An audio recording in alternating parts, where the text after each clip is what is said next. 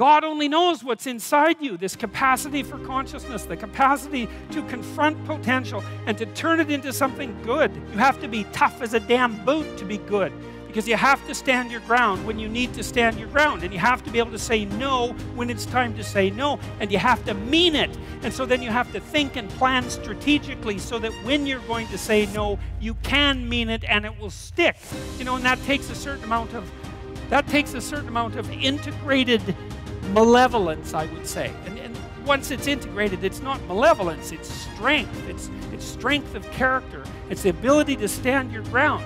And you have to cultivate that. And you cultivate that at least in part by telling the truth.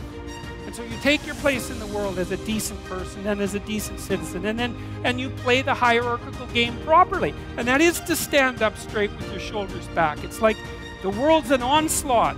You've got the tyranny of culture to deal with. You've got the catastrophe of nature. You've got your own damn malevolence and ignorance, right? All coming at you, plus the incredible, complicated, indeterminate potential of the future. That's all coming at you, and it's all your responsibility. And you can cringe away from it and be afraid of it and be victimized by it and be bitter and cynical about it. And, and no wonder, because it can be painful.